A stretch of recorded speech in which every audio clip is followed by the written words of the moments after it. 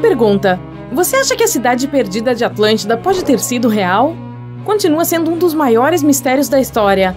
A lenda começou com Platão, desde a Grécia Antiga, o conto de uma civilização que se formou e prosperou antes da nossa.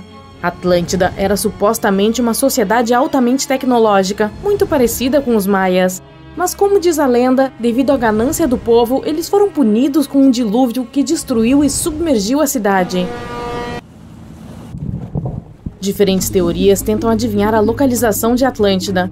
Algumas afirmam que era no mar Mediterrâneo, outras que está abaixo do Triângulo das Bermudas. Mas, como a ciência nos mostrou, Atlântida pode ser apenas uma alegoria para a humanidade. Hoje você descobrirá várias cidades subaquáticas incríveis das quais nunca ouviu falar.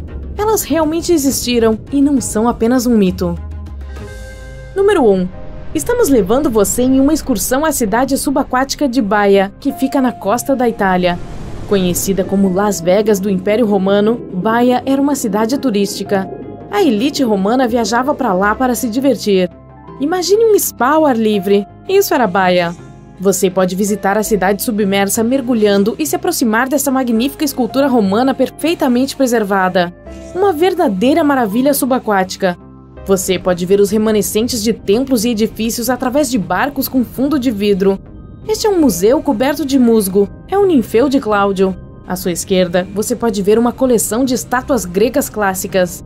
Nadando pela via Herculana, você chegará à Vila Prótiro, as moradias são casas de estilo italiano, e aqui você pode admirar pisos de mármore originais. Observe os padrões em preto e branco e as formas surpreendentes que eles fazem. Em seguida, você chegará a Portos Iulius. Aqui é possível ver as estruturas de paredes colapsadas na parte inferior do fundo do mar. Você verá colunas bem preservadas e pisos de calcário. Veja as ruínas dos banhos termais de Lacos. Os mosaicos multicoloridos restantes são incríveis. Você verá as peças dos mosaicos em laranja, azul e verde se chegar perto o suficiente. Na vila Pila de Pisoni podem ser vistos 25 pilares romanos preservados. Observe os arcos, os afrescos nas proximidades e a magnitude desse tesouro bem guardado. A cidade estava localizada sobre aberturas vulcânicas naturais, então existiam fontes termais para serem desfrutadas à vontade. As pessoas iam para lá procurando se divertir muito, e quando digo pessoas, quero dizer alguns dos grandes imperadores romanos sobre os quais aprendemos na escola: Nero, Cícero, César.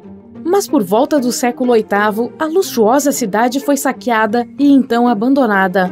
Lentamente, o nível da água subiu e a cidade começou a submergir. Número 2. Você está de férias ao largo da costa da Grécia, a 4 horas de Atenas, na península do Peloponeso, em Pavlopetri. Você tira a poeira do seu snorkel e faz um mergulho livre em um dia ensolarado e brilhante. Algum tempo mergulhando e você começa a notar padrões no fundo do mar. Quatro metros abaixo da superfície, contornos de objetos familiares começam a surgir um por um. À medida que você continua nadando, o que parece ser o contorno de uma cidade inteira emerge diante de seus olhos. Você se pergunta como a água pode ter tomado toda a cidade. As rochas estão perfeitamente alinhadas ao que parece ser a base de um edifício. Nicholas Fleming, um oceanógrafo britânico de férias na Grécia, foi a pessoa que descobriu Pavlopetri. Ele estava documentando os artefatos do fundo do mar. Sua equipe encontrou o local cheio de potes, vasos de armazenamento e ferramentas. Um moinho de pedra, por exemplo, é uma ferramenta usada para moer grãos e transformá-los em farinha. Várias ânforas que ali foram encontradas indicam que esse assentamento datava da Idade do Bronze, há 5.500 anos, quando as pessoas começaram a viver em cidades. Acredita-se que a cidade tenha durado mais de 2.400 anos.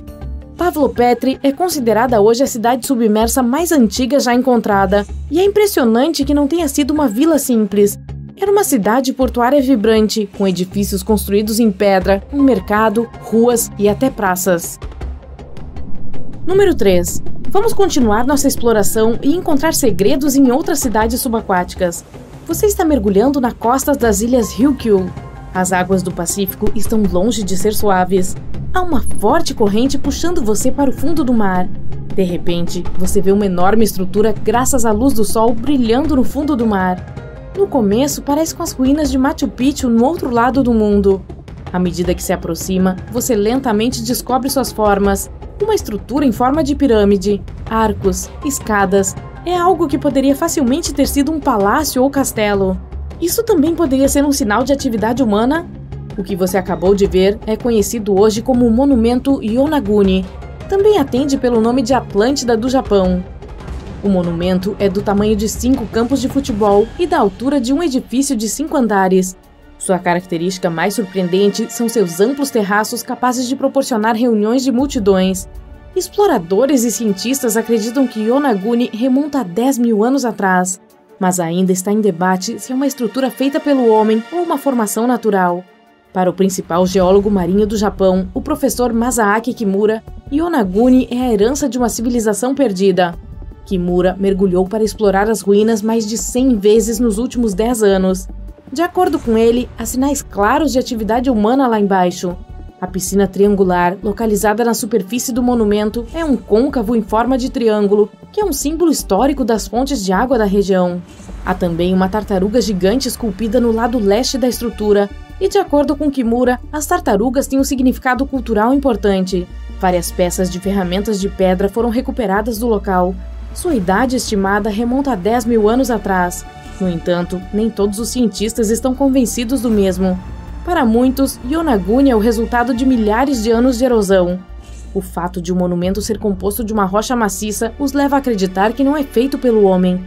As bordas definidas e as superfícies planas se assemelham a uma ocorrência de formação natural na Irlanda do Norte, conhecida como Calçada dos Gigantes. Uma série de colunas de basalto interligadas se parecem com as ruínas de um palácio, mas são resultado da atividade vulcânica na região. Bom, fique ligado para mais descobertas subaquáticas. Número 4. A próxima parada da nossa viagem é em uma das cidades subaquáticas mais famosas de hoje, que se transformou em um parque arqueológico subaquático. A cidade de Port Royal, na Jamaica, existe hoje apenas abaixo da superfície, mas em 1692 era uma das cidades mais ricas do hemisfério ocidental. Port Royal era o centro do Império Britânico na época e uma importante cidade comercial que atraía pessoas de todos os lugares. Também foi o lar de piratas do Caribe da vida real. Na manhã de 7 de junho de 1692, o povo de Port Royal teve um destino diferente do que provavelmente esperava. Os bares e restaurantes radiantes de vida acordaram tremendo, as pessoas foram tiradas da cama com o poder de um grande terremoto, estimado hoje em 7,5 na escala Richter. Um sobrevivente disse ter visto a terra se abrindo e engolindo toda a cidade. O que ele disse pode ser verdade, já que a cidade foi construída principalmente sobre areia. O chão sugou prédios, estradas e todos em cima. Geysers entraram em erupção e, finalmente, ondas tão grandes quanto edifícios de 10 andares atingiram a cidade cerca de 33 acres da cidade desapareceram debaixo d'água. E, surpreendentemente, a maior parte de seus restos do século XII está em boas condições, sob 12 metros de água. Arqueólogos encontraram em ruínas tabernas, salas de armazenamento, cozinhas e edifícios recreativos usados para diversos fins. Também é possível ver uma grande estátua de leão, uma ponte submersa e muitos arcos pitorescos. Número 5. Vamos para a Índia agora? Do lado de fora de sua costa fica outra maravilha submersa. Um local conhecido como a Cidade Perdida de Cambaia está localizado no Golfo com um nome semelhante. Permaneceu oculto até 2001, quando o Instituto Nacional de Tecnologia Oceânica fez uma avaliação de rotina da água. Com a tecnologia de sonar que envia uma onda de som para o fundo do mar, eles encontraram algo muito abaixo da superfície. As imagens mostraram formas geométricas bem definidas espalhadas ao longo de um trecho de 8 quilômetros. Os restos encontrados datam de mais de 9.500 anos atrás, o que significa que essa civilização foi perdida por volta do final da Idade do Gelo. Os detritos recuperados do local incluíam material de construção, cerâmica, miçangas, esculturas e até ossos. Os cientistas discutem se esses artefatos são de fato do local mas se realmente o são, então a cidade perdida de Cambaia seria a civilização mais antiga do mundo.